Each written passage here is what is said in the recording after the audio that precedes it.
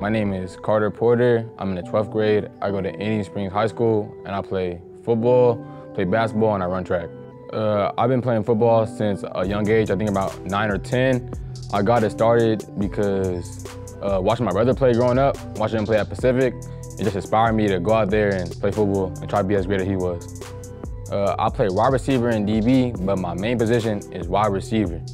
You know, wide receiver can be challenging, but it can also be fun at sometimes. One of the challenging parts about being a wide receiver is having to line up against someone every play and having to beat that guy every play. I like playing wide receiver because, you know, scoring, getting the crowd hype, you know, I love it. I'm a people person, so whenever I can get the crowd going, I'm gonna do it.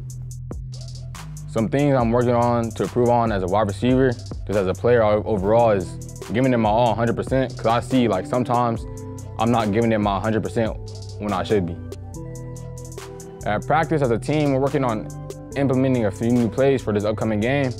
You know, can't say too much, but you know, we're going we're going to show Miller something on Friday. You know, this year's team, you know, I wasn't on last year's team, but I played against last year's team. And one thing I can say is we look way better than the last year's team. You know, like we're competing out there, and, and honestly, like we have a shot to make it all the way. Qualities Coach Will like to see in football players is just being a competitor. Like you don't have to be the best, as long as you go out there and give your all and you're there for your team, Coach Will will respect you. Uh, a few things I learned from Coach Will while being here at Indian Springs is, you know, he taught me how to be a competitor. He took that up one notch, you know. He taught me just to play my heart out every play, you know, good things are gonna happen. That's X, right here, that's X. Who's this right here? Man, Carter Porter, as a football player, man, outstanding playmaker. He's one of the kids you, I say every coach wish they had a kid like him on the team. When in doubt, like if the game's on the line, he's the guy that's gonna make a play. He has strong hands. Hey, he can run after the catch. He can do everything. He can run every route in the route tree. Uh, you know, on the college level, I would say he's a guy that can make it. He can help someone on the next level. He does everything the right way, and he shows up to practice every day, never misses. Man, he's a hell of a kid.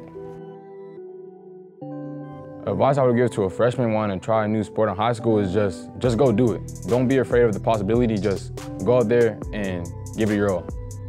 I have a 3.0 GPA, and after high school, I would like to become a forensic scientist. I'm gonna continue playing football on at college, and hopefully I'm able to attend Tuskegee University. The most important people in my life is my family because they're always there for me, you know. They always keeping my head up, even when I, when I have a bad game. They make, they're telling me I'm all right, and you know, I just want to do everything for them.